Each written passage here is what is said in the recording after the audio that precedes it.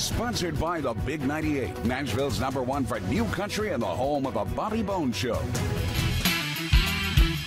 We're so honored to have on Senior Director of Editorial for the Country Music Hall of Fame and Museum, Paul Kingsbury. Thank you so much for coming on the show. Hey, Eric, it's great to be with you. You know, I, I got to brag on you. You know, I've owned some of the books that you've done in the past and everything. So next time you come in, you got to sign them, okay? I would love to. I'm honored that you have some of my books. Well, obviously, and, and we got to talk about the latest release that you have been a part of on helping bring this back to the public. And this is DeFord Bailey, a black star in early country music. And obviously, you and I know of DeFord and, and certainly his impact, you know, on music and particularly on the Grand Ole Opry. And what you guys have done on this book with the Country Music Hall of Fame is updated it. Right. Expanded it. I mean, talk about how this process came about, Paul. Well, so years ago, uh, David Morton, the chief author of this, who mm-hmm. worked with Charles Wolfe, a professor at MTSU, um, David Morton found DeFord Bailey, and he uh, he was somebody who'd kind of been lost to history and living in Nashville, and um, David Morton was working for the Nashville Housing Authority at the, at the time in the 70s yeah. and kind of discovered that this talented black musician was living over in, Ed, in the Edge Hill community and um, at one time had been a Grand Ole Opry star. The first black mm-hmm. uh, Grand Ole Opry star, the first black star in country music. And so we definitely wanted to get this book out, which had been published in 1991, but had been out of print for many years. Right. So yes, we went back in and we uh, did some updates, um, such as we got the uh, great old-time black string uh, string band musician Dom Flemons to, to, write a foreword. Right. Um, and he's a, a, great admirer of DeFord Bailey and plays harmonica in the DeFord Bailey style. Mm-hmm. And uh, we also made sure there was a, a, a detailed session discography in this book, added photos that weren't in the original edition. Right. And um, just generally kind of spiffed it up, and uh, we've got it back out on the market now. You know, and I got to tell you, Paul, some of the things I learned from this book, and just like I learned from your books as well, is uh, you know that he had not only playing on the Grand Ole Opry, you know, being a harmonica wizard as he was known, but touring with Roy Acuff and Bill Monroe. Yeah, it's amazing. You know, those guys, people like Roy Acuff, he actually says so in this book. Roy Acuff Bill Monroe, the Delmore brothers, they said DeFord back in the 1920s and 1930s, he was the big draw. He was the yeah. one that people wanted to see when they were touring out around the southeast, you know, from one small theater to another or schoolhouse sometimes. Mm-hmm. And uh, yeah, Ford was a major star at the time. Of course, this was the era of radio. This right. is before television. We're mm-hmm. talking about uh, he joined the Opry in 1926 and he was there till 1941. Um, but he was a major star. Oh, definitely. Well, and, and also, I wanted to bring up that it, it helped with the book and everything that DeFord ended up in the Country Music Hall of Fame in 2005, right? Yeah, you know, um, I, I think that's one thing that people should know is that if David Morton, this young white man who was working for the Nashville Housing Authority, if he had not met DeFord and if they had not become such good friends mm-hmm. that DeFord said to David, you've got to write my life story. And David did so with right. the help of Charles Wolfe. If that book had not come out and if, if David hadn't worked so hard on it, I think in a lot of ways DeFord would have been lost to history and he mm-hmm. would never have been voted into the Country Music Hall of Fame, right. as he rightly was in 2005 right. for being such a pioneer in music. Well, and I think for all of us as musicians, and you're a fellow musician as well, to where learning the history about these great people such as DeFord. it's so inspiring. And I think to all musicians, and certainly we were talking about harmonica players just like Charlie McCoy and everything, and, and showing, you know, the impact that he had to, to audiences then as part of the Grand Ole Opry. It's just, it's so impressive. Well, and you know, he's a really interesting harmonica player, and people can go on the web and, you know, go look for YouTube videos and you can see you know, a couple of his signature pieces, harmonica pieces that people can still find out there. Um, Pan American Blues, right. where in a musical tune that he's created, he imitates the sound of a locomotive, of a train. Which is one of the things he was so well known for. Yeah, he was he was great at taking natural sounds that he heard around them and, and putting them in his music. Mm-hmm. And he had another famous tune that you can find online called Fox Chase, where Hunter he, he imitates in a, in a song, he imitates hunters and the baying hounds chasing a fox. Right. And you think, well, that's going to sound crazy. It sounds great. It does. It does. With and uh, and I wanted to bring up also, speaking of websites and where you can find materials, Paul, to where I think the Country Music Hall of Fame does an excellent job with their website.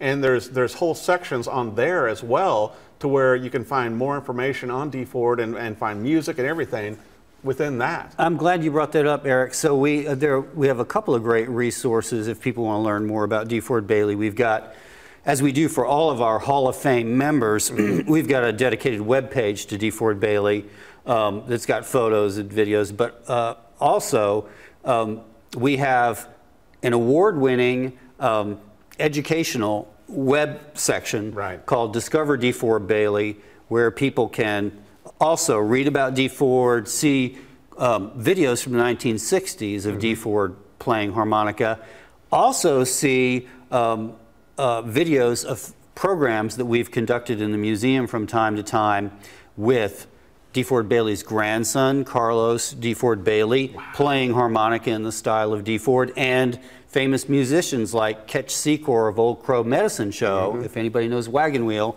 that's where that that's where that song came from. Exactly. Um, um, him playing in the style of DeFord Bailey, and we have if people are interested in harmonica, we've got harmonica lessons on that site. So Discover DeFord Bailey is a pretty cool part of the website. You know, I've got to bring up another great thing. You know, to me, the Country Music Hall of Fame Museum is such an incredible institution that we have here in Nashville, but it's also not just a museum.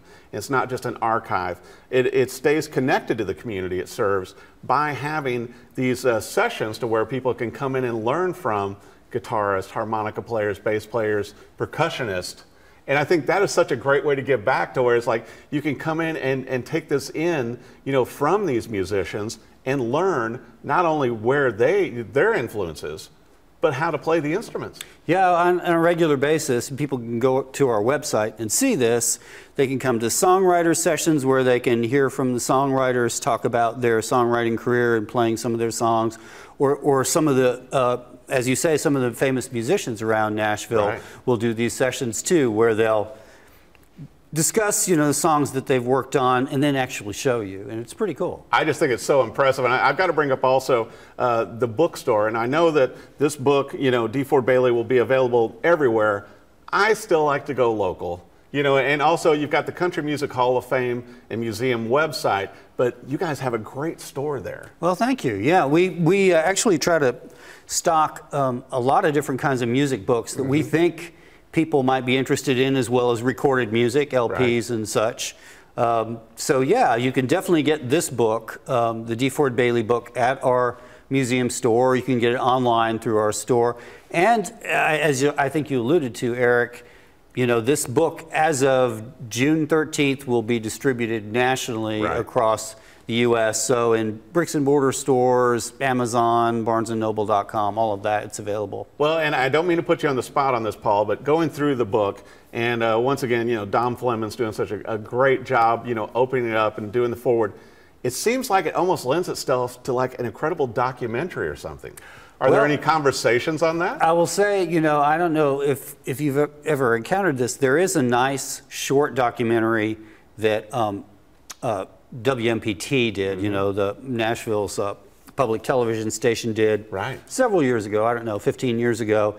It's pretty good. I, I do think there's so much to be said about DeFord. Mm-hmm. I think when people read this story, which is really rich Very. with, you know, all kinds of great little anecdotes about what DeFord Bailey's life was like as a musician and past his time on the Opry. Yeah, I think there could be a longer documentary. I think that would, you know, and also you'd be a great resource on that. Well, and, and I, I, I, yeah, I'd be happy to, but I will also say that our author, uh, David Morton, who, mm-hmm. who got to know uh, DeFord so well, yeah. he's a fantastic resource. He's still living.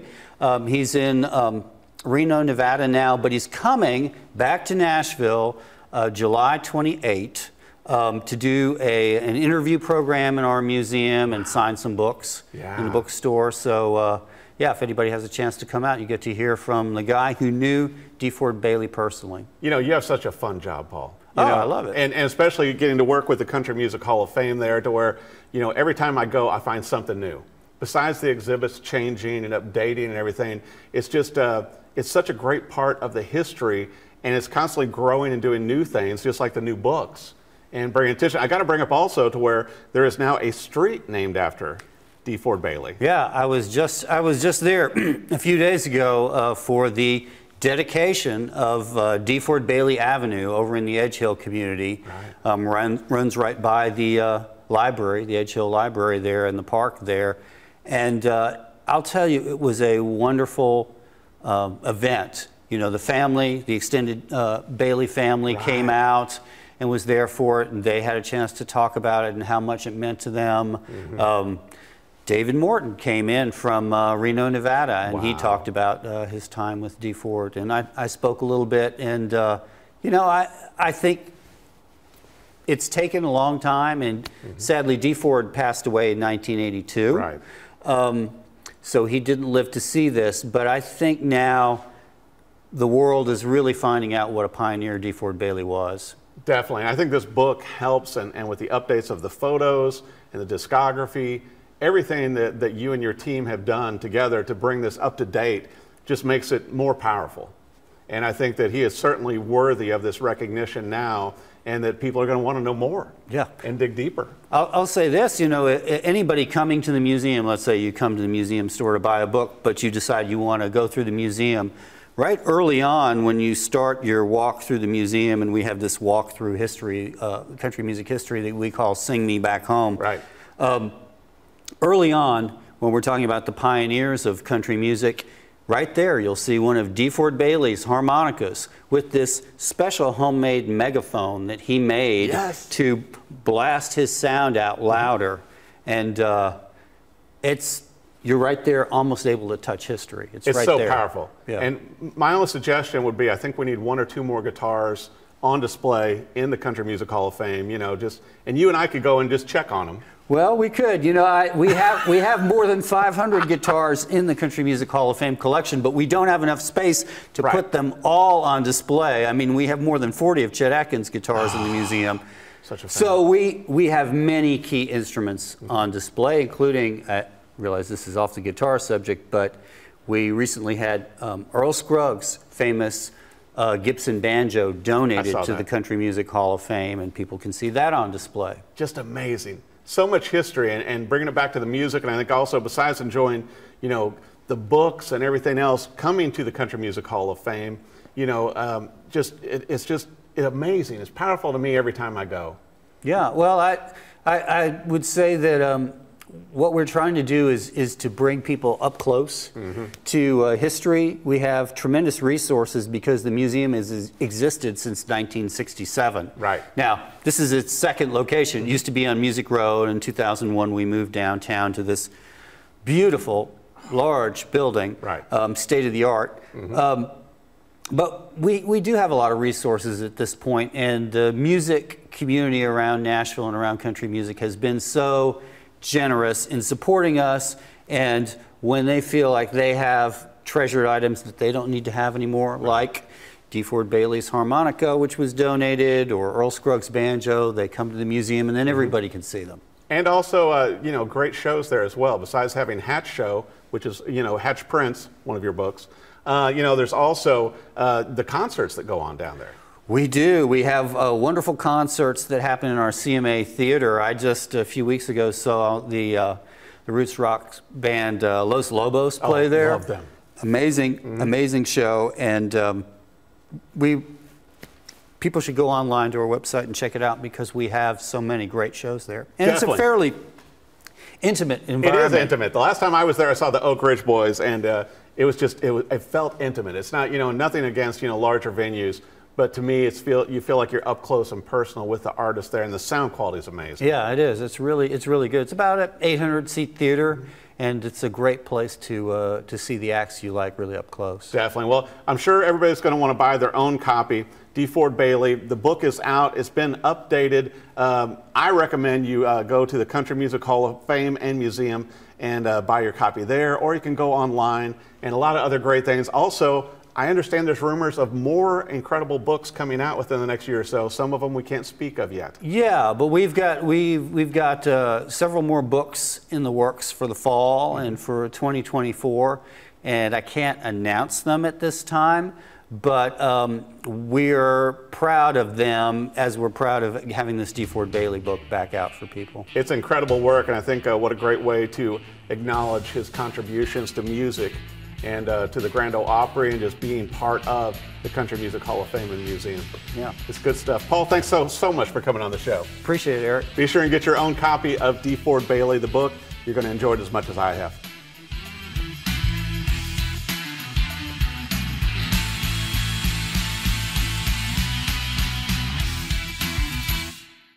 Sponsored by the Big 98, Nashville's number one for new country and the home of the Bobby Bones Show.